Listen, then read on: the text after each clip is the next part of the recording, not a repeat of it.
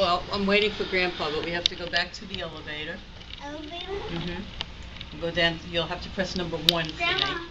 If I put on my bathing suit right now, can I wear over Yes. the over thingy? What's number one? Put that over your bathing suit, What's yeah. number one? Well, the hotel has one floor, two floors, three floors, four floors. And we're on five. Hey! No, five. Hi, Daddy. Wait a minute, my bathing suit on. Joe, Amy, and the baby are already in the pool. Oh, they are? Yeah. Oh, okay. I Oh. have too. You need a key to get into the pool. Your room key? Yeah, the door key. It, Alright. it is locked. Bran, where are we? In the hotel. Need a door key. You couldn't wait, right? Yeah. He was jumping up and down this morning. Say, yay, hotel day. You gonna go help Grandma return that? Here's our door key. Oh, okay, thanks. You gonna help Grandma and Grandpa return the cart?